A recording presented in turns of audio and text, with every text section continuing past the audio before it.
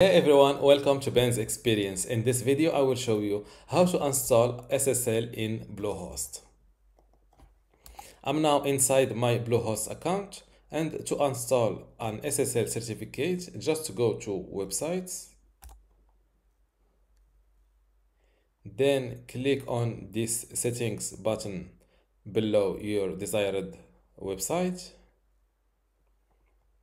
Go to advanced scroll down and click on manage next to cPanel. Before I show you how to install your SSL certificate, I want to let you know that you can access my online university for free.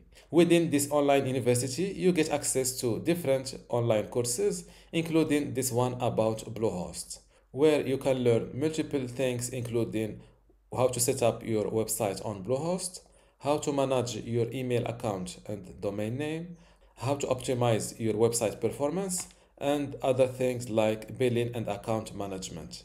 To get your access now, just visit university.bensexperience.com link in the description. Let's go back to our tutorial. Once you are inside the cPanel, just scroll down to security and click on SSL slash TLS. Now click on manage SSL sites from here.